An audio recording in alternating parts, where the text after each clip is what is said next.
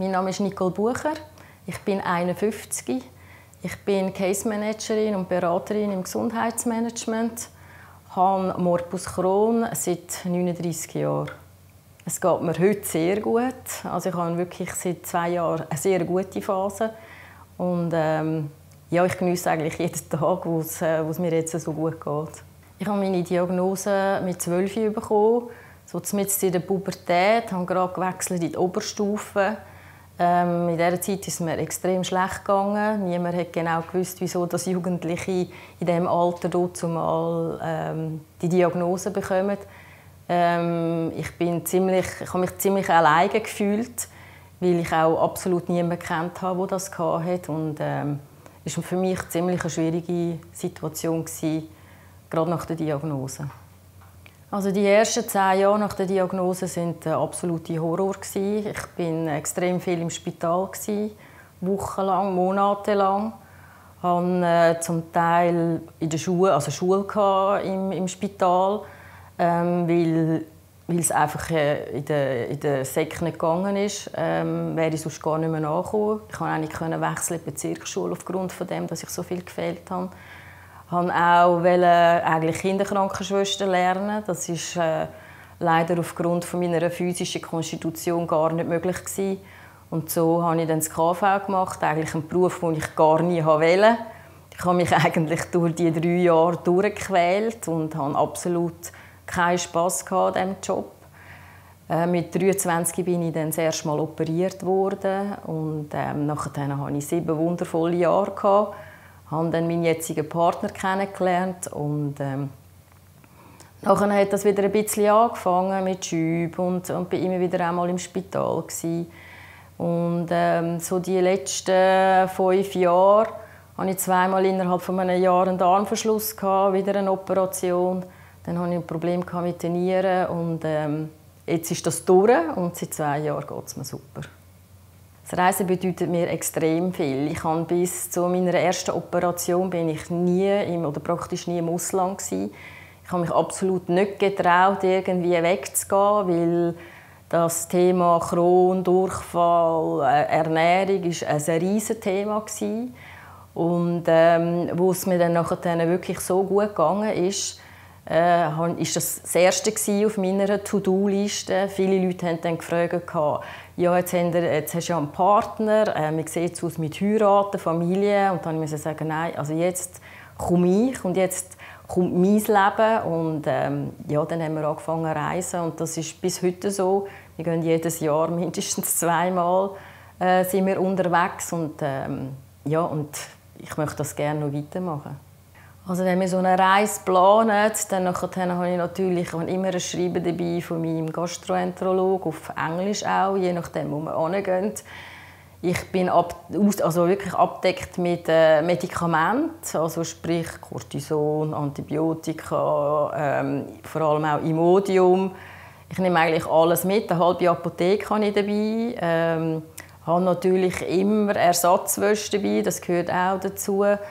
Ähm, aber sonst eigentlich im Großen und Ganzen unterscheidet sich nicht viel anders wie bei, einem, bei meinem Partner, der jetzt ähm, kein Morbus Crohn hat oder CD hat. Ja, es ist eigentlich jedes Mal, wenn wir in die Ferien gehen, ähm, bin ich ziemlich nervös, weil ich eigentlich immer hoffe, ho äh, dass, es, dass es mir gut geht im Zeitpunkt, wo wir auch gehen. Ähm, weil wenn es dann so weit ist, dass man dann wenn abfahren und ich Durchfall habe oder alles, dann müssen wir eigentlich unsere ganze Planung schon mal umstellen. Wir gehen ja eigentlich zu 80 Prozent mit dem TÜV in die Ferien. Und äh, somit ähm, ist es nicht ganz einfach, dann, wenn man eben auch die, den Durchfall hat oder zu viel auch ich mit meinen Rückenschmerzen, die ich auch noch habe. Ähm, und wenn ich dann schon weiss, ich habe schon Durchfall, ich habe schon Rückenweh, ähm, dann werde ich noch nervöser, weil dann weiss ich, ähm, das, was wir geplant haben, schaffen wir vielleicht nicht. Ähm, aber im Großen und Ganzen denke ich mir doch, wir gehen einfach und wir tun sowieso unsere Pläne immer noch mehr richten. Manchmal fahren wir ein bisschen länger und an einem anderen Tag dann halt vielleicht einmal weniger oder wir bleiben sogar einmal einen Tag an einem gleichen Ort. Durch das, dass wir nie gross ähm, im Vornherein buchen, sind wir extrem flexibel unterwegs. Ja, ich hatte die Zeit mit den, mit den Nierenproblemen, die ich hatte. Dort habe ich extrem ähm, viel in einem halben Jahr Antibiotika nehmen und äh, wir sind schon in die Ferien gegangen, indem ich Antibiotika genommen habe. Es ist mir nicht gut gegangen. Wir wollten eigentlich auf Slowenien und haben dann nach zwei Tagen in Italien müssen kehren, weil ich, äh, es mir so schlecht gegangen ist, dass ich kaum auf dem Töpf sitzen konnte.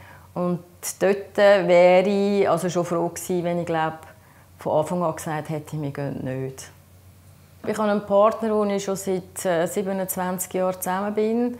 Er hat schon extrem viele Hürden mit mir äh, müssen äh, erleben und durchgehen. Und ähm, ich glaube, er hat extremes Verständnis für meine Situation.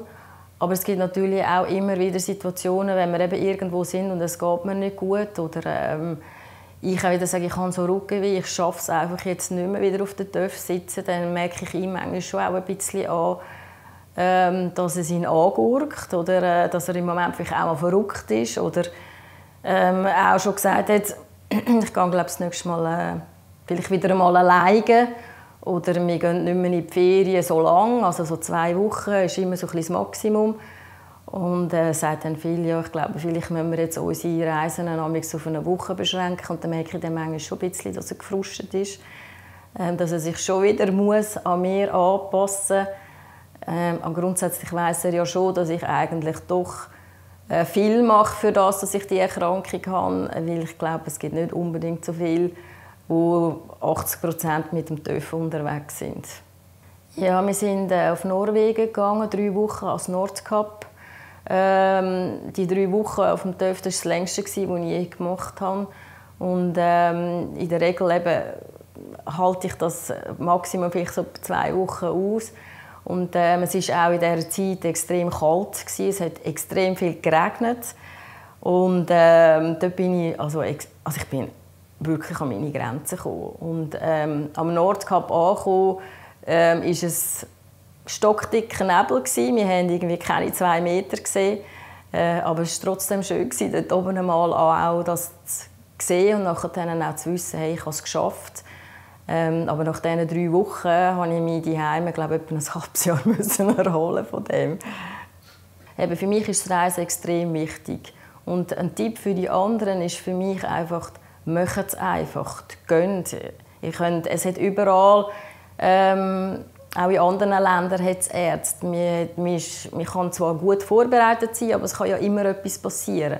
Es gibt sicher äh, Länder, wo ich jetzt nicht unbedingt hingehen würde, äh, weil vielleicht auch von der Hygiene her oder vom Essen her jetzt nicht gerade dem entspricht, was ich brauche, ich persönlich brauche. Ähm, aber mir geht es immer gut, wenn ich in die Ferien gehe. Also vor allem auch, wenn es jetzt halt körperlich vielleicht einmal nicht ganz optimal ist, rein für meine Psyche tut mir das extrem gut. Und jedes Mal, wenn ich auf dem TÜV sitze und wir gehen äh, Richtung Norwegen oder Richtung Südtirol, was ein unsere Lieblingsdestinationen sind. Und wir sind in diesen Bergen und alles. Das gibt mir so viel Kraft und ich glaube, man muss es einfach mal ausprobieren. Sich gut vorbereiten, vielleicht auch mit dem Arzt zusammen, dass man auch die entsprechenden Medikamente dabei hat. Vielleicht ein bisschen schauen, was man isst. Ähm, aber ich würde jedem empfehlen, unbedingt das einmal zu probieren. Also ich arbeite 80 Prozent und meine Freizeit ist dadurch ein bisschen begrenzt. Also ich arbeite nicht 100, ich habe einen Tag, wo ich äh, bewusst für mich auch ähm, darf brauchen, damit ich ähm, eben zum Beispiel Sport. Sport ist mir extrem wichtig. Ich äh, bewege mich dreimal in der Woche, äh, gehe, äh, Velo fahren. Ich habe seit zwei Jahren ein E-Bike. Ich liebe mein E-Bike. Ich gehe immer alleine fahren. Äh, ich habe die ein Spinning, ich habe ein Trampolin, ich äh, habe meine Yogamatte und dreimal in der Woche Sport, das muss einfach sein, das braucht Platz. Aber was man doch halt muss sagen ist, dass ein Wochenende für mich eigentlich immer bedeutet, einen Tag machen wir etwas, wir gehen auch am Abend fort und so, und einen Tag brauche ich für mich, um, um mich erholen und zum können runterfahren und äh, zum auch wieder können Energie tanken, weil sonst schaffe ich es am Ende nicht wieder, in die neue Woche zu starten. Ich würde mir für die Zukunft wünschen, also für mich selber einmal, dass es mir so gut geht, wie es mir jetzt geht. Ich bin absolut happy in der momentanen Situation, wie es mir geht.